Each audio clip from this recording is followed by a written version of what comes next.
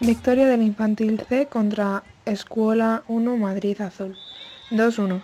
El primer set comenzamos muy bien haciendo tres toques, metiendo todos los saques y sin muchos fallos por nuestra parte, hasta el punto 18. Con una ventaja de 4 o 5 puntos, a partir de ahí encadenamos bastantes errores y las chicas no supieron sacar el set adelante. Pero en el segundo set salieron con muchas ganas y jugando bastante bien y consiguieron la victoria del set.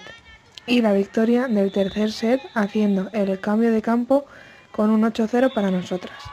Solo tengo que felicitar a las chicas por el buen partido, pero saben que los entrenamientos hay que trabajar más para poder ser mejores. Enhorabuena chicas, estoy muy contenta, pero ya sabéis, hay que trabajar. Un saludo y hasta la próxima jornada.